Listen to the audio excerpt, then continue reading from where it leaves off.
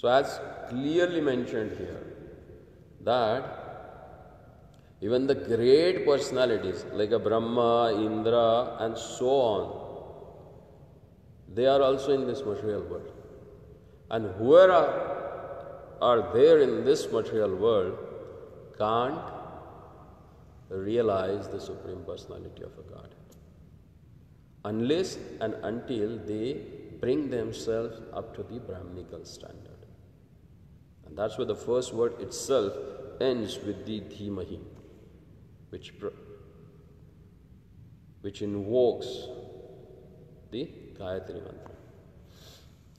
Then further, Prabhupada says that the chief engineer of a complicated construction does not personally take part in the construction, but he knows every nook and corner because everything is done under his direction. He knows everything about the construction, both directly and indirectly. Similarly, the personality of a Godhead, who is the supreme engineer of the cosmic creation, knows every nook and corner, although affairs are being carried out by the demigods. Beginning from Brahma down to the insignificant ant, no one is independent in the material creation. The hand of the Lord is seen everywhere. All material elements as well as spiritual spark emanate from Him only. And whatever He created in this material world is but the interaction of two energies, the material and the spiritual, which emanate from the absolute truth, the personality of a Godhead, Sri Krishna. A chemist can manufacture water in the chemical laboratory by mixing hydrogen and oxygen. But in reality, the living entity works in the laboratory under the direction of the Supreme Lord, and the materials with which he works are also supplied by the Lord. The Lord knows everything directly and indirectly, and He is cognizant of all minute details, and He is fully independent. He is compared to a mine of gold, and the cosmic creations in so many different forms are compared to objects made from the gold, such as gold rings, necklaces, and so on. The gold ring and the gold necklaces are quantitatively, oh sorry, qualitatively one with the gold in the mine, but quantitatively the gold in the mine is different. Therefore, the absolute truth is simultaneously one and different. Nothing is absolutely equal with the absolute truth, but at the same time, nothing is independent of the absolute truth. No need to explain furthermore because he has given a wonderful example of gold and gold mine. So once we understand that, what is our position? So he actually creating a background so that we can understand our own position and then we can understand the Supreme Personality of God. Because unless and unless you know your weaknesses and your uh, what we call as a strength, then you can't work on that. So here he is making us a platform on which we can stand upon and see the Lord. Then further, Prabhupada says that conditioned souls beginning from Brahma, who engineers the entire universe, down to this insignificant ant, are all creating, but none of them are independent of the Supreme Lord.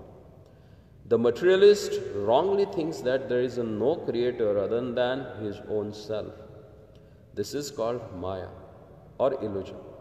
Because of his poor fund of knowledge, the materialist cannot see beyond the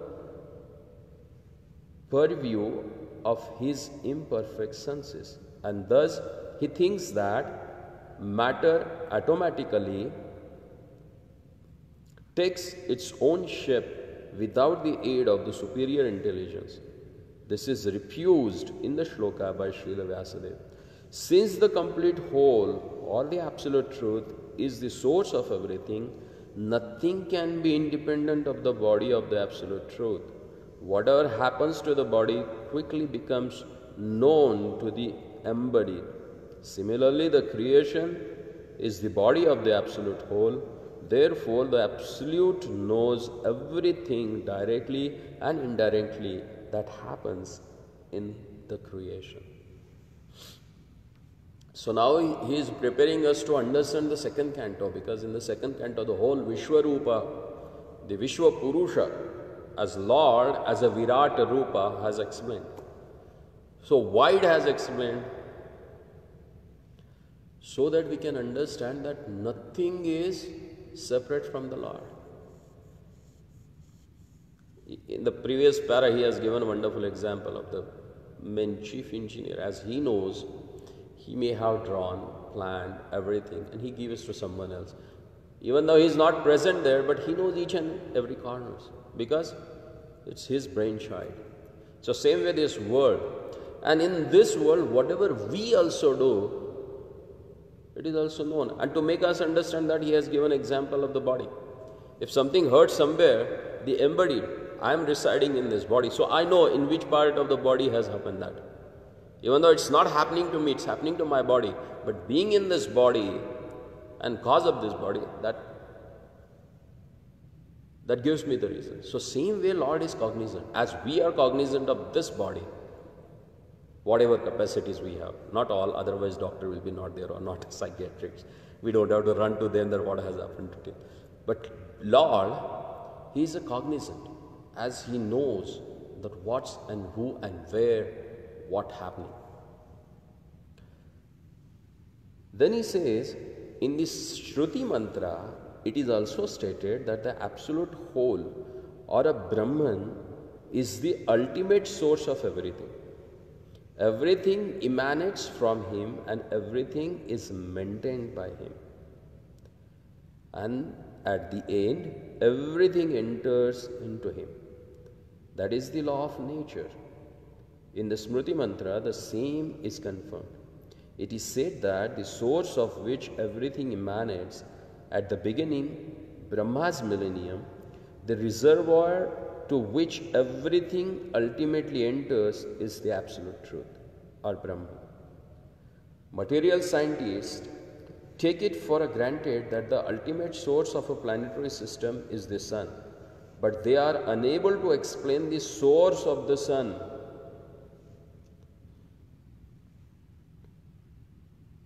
So he's like a clarifying the so-called uh, what they call theories of manifestation or creation. He says that according to the Vedic literatures, Brahma, who may be compared to the sun, is not the ultimate creator. It is stated in the shloka that Brahma was taught Vedic knowledge by the personality of a Godhead. One may argue that Brahma being the original living being, could not be inspired because there was no other being living at that time. Simple thing. If you want to do something, if nobody is there to look at you, why you will do it? Makes sense. So Brahma, when he was created, there was nothing. So he was confused what to do now. Because you want to do something to show someone. It's not for you. That's the nature of this material world. And herein it is stated that Supreme Lord inspired the secondary creator. Tene Brahmaruda Adi Kavaye. In Brahma's heart, he gave them inspiration. That means there was someone. In order that Brahma could carry out his creative functions. So the supreme intelligence behind all creation is the absolute Godhead, Sri Krishna. In Bhagavad Gita, Lord Krishna states that it is He only who superintends the creative energy, Prakriti, which constitutes the totality of matter. Therefore, Sri Vyasadeva does not worship Brahma but Supreme Lord, who guides Brahma. Sorry, Krishna. Shiva.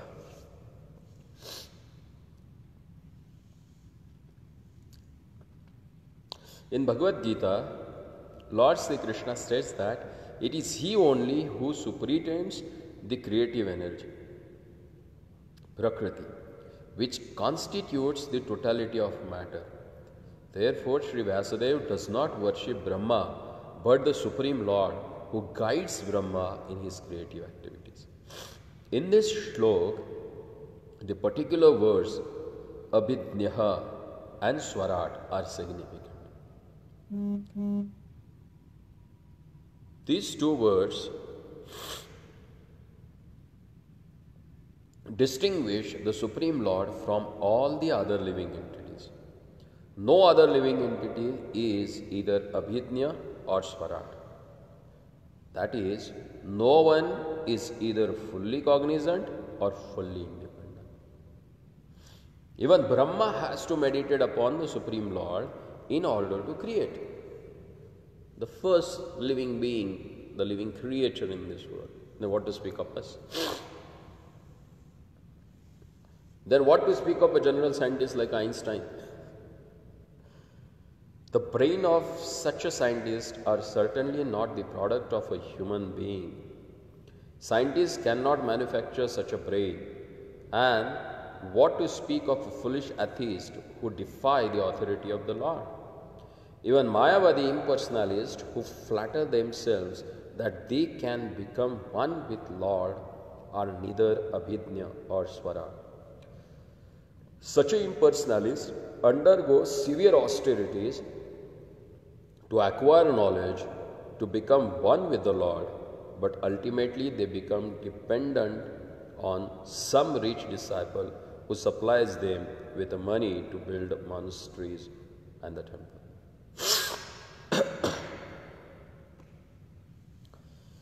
Atheists like Ravana or Hiranyakashipu had to undergo severe penances before they could flout the authority of the Lord. But ultimately, they were rendered helpless and could not save themselves when the Lord appeared before them as cruel death. This is also the case with the modern atheist who also dare to flout the authority of the Lord. Such an atheist will be dealt with the similarly for his for history repeats itself.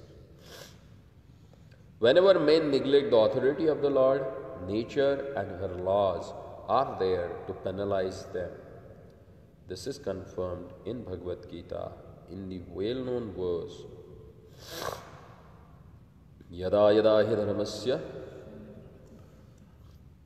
Whenever there is a decline of dharma, and a rise of adharma or Arjuna, then I incarnate myself. So, it is clear. And unless and until we really understand about this, if it is not clear to us that whom we are speaking about, that will not develop interest in us. You don't want to hear someone you don't know, do you? No. Even you do gossip, you do gossip with, with the people whom you know actually. then, to understand such a elaborate scripture, you need to know about whom you are speaking about. And Prabhupada very wonderfully, he's clarifying in his purport. Then he further says that the Supreme Lord is all perfect is confirmed in all Shruti mantras.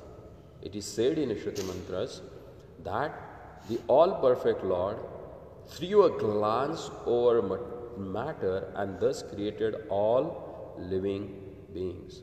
Even Brahma Samhita also says that.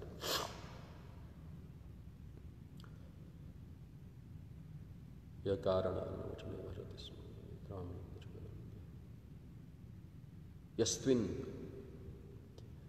In that verse, he says that just by glancing on that material nature, everything manifests.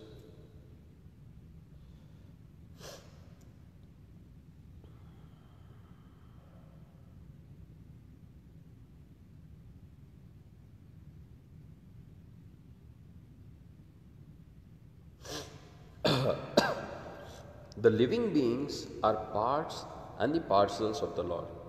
And He impregnated the vast material creation with seeds of a spiritual parts. Aham Bija Pradapita. Tasam Brahma Mahat Yonir Aham Bija Pradapita. He is the seed giving father.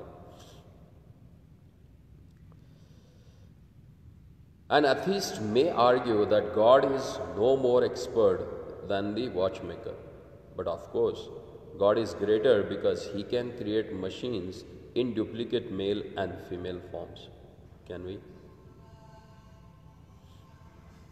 The male and female forms of different types of machineries goes on producing innumerable similar machines without God's further attention.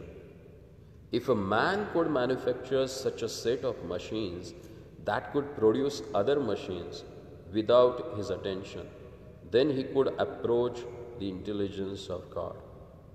But that is not possible for each machine has to be handled individually. Therefore, no one can create as well as God. Another name of God is Asama Urdhva. So nobody is equal to him and nobody higher to him. Asama Urdhva. Which means that no one is equal to or greater than him. Param Satyam or the Supreme Truth is he who has no equal or superior. I am the controller, the controller.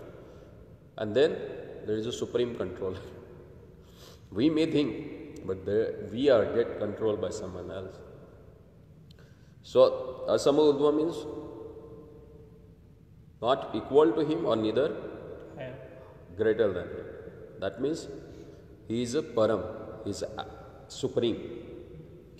So further it says that this confirmed in the Shruti mantras, it is said that before the creation of material universe, there existed the Lord only. Narayano Paravyakta. Even the, the chief Mayavadi who has given his Mayavadi philosophy, that Lord Shankara also in his commentary in Sharirik Bhasha on Bhagavad Gita, he says that Narayano Paravyakta. Beyond this unmanifested nature is Narayana.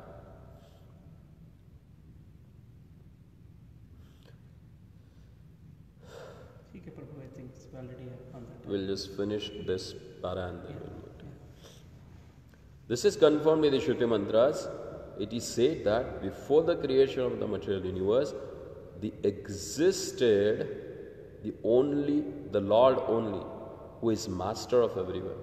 That Lord instructs Brahma in Vedic knowledge. That Lord has to be obeyed in all respects.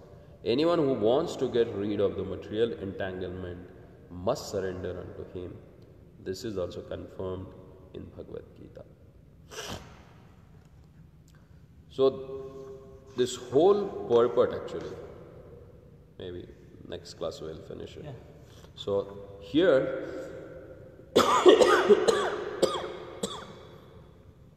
Prabhupada clearly gives idea. No need to do any brain exercise. Just read them, contemplate, discuss. Because unless and until you read it, contemplate and discuss, you will not understand the thing. And that's why it is said that katha. Katha means what? It is a discussion. The whole Srimad Bhagavatam is a discussion between different personalities. Because only by the verbal exchange, you can get the knowledge. Read it, hear it, discuss it, and then realize it. Hare. Hare Krishna. Thank you. Thank you. Srila Prabhupada. ki jai.